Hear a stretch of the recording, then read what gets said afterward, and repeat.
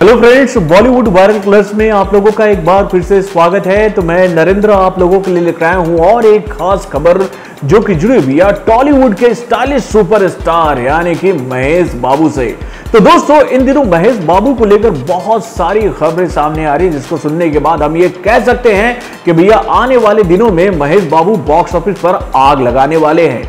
यानी कि हाल फ़िलहाल में यह खबर सामने आई थी, जिसमें बताया जा रहा था कि महेश बाबू के हाथों लग चुकी है एस एस राजा मौली की आने वाली अगली फ़िल्म। यानी कि S S Rajamouli triple R के बाद में जो फ़िल्म बनाएँगे, वो महेश बाबू को लेकर बनाएँगे। तो दोस्तों, ये खबर तो सोशल मीडिया पर काफ़ी सुर्खियाँ बटोर ही रही थी कि इसी बीच में महेश बाबू को लेकर एक और बहुत बड़ी खबर आई है कि भैया अर्जुन रेड्डी और कबीर सिंह के बेहतरीन डायरेक्टर यानी कि संदीप रेड्डी वांगा भी अब महेश बाबू के साथ में एक फ़िल्म क्यों बनाने की तैयारी में जुट चुके हैं। यानी कि इस फ़िल्म को लेकर महेश बाबू और संदीप रेड्डी वांगा के बीच में मीटिंग हो चुकी है। यानी कि यह खबर बहुत जल्दी ऑफिशियल हो जाएगी कि संदीप रेड्डी वांगा के साथ में महेश बाबू एक फ़िल्म बनाने जा रहे हैं। तो दोस्तों, आपको क्या लगता है भैया कि इन दिनों दो फ़िल्मों की चर्चा तो महेश बाबू को लेकर बहुत हो रही है कि एस एस राजा मौली के साथ भी काम करने वाले हैं महेश बाबू, और उसके बाद अब संदीप रेड्डी वांगा का भी नाम उनके साथ जुड़ रहा है। तो आपको क्या लगता है, जब ये दोनों फ़िल्में बॉक्स ऑफ़िस पर आएँगी तो कितना धमाल मचाएँगी?